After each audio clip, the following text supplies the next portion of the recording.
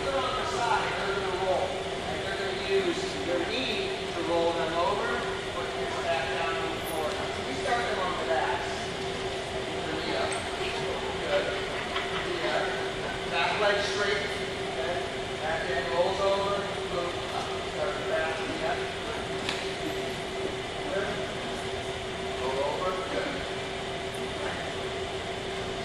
to step stop.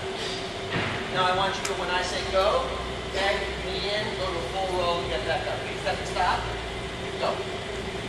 And walk right through. Go again. Step and stop. Good. Go. Good. Step and stop. Go. Right.